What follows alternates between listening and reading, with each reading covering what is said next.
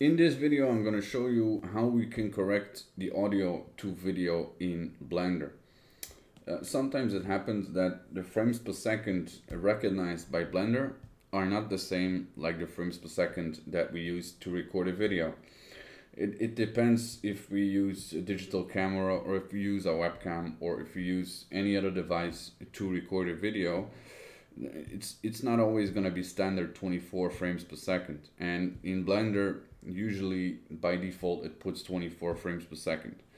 So we're going to add a video to check if audio and video is going to be correct. We see that the audio is shorter than video which means that it's going to go it's going to run faster and our video is not going to add up with the audio what we can do is change the frames per second to check.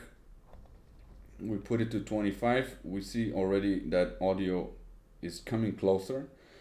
So it's probably going to be 30 put it on 30 everything is correct. When we're going to play the video audio is going to just match up with the video. And that's the only thing we have to change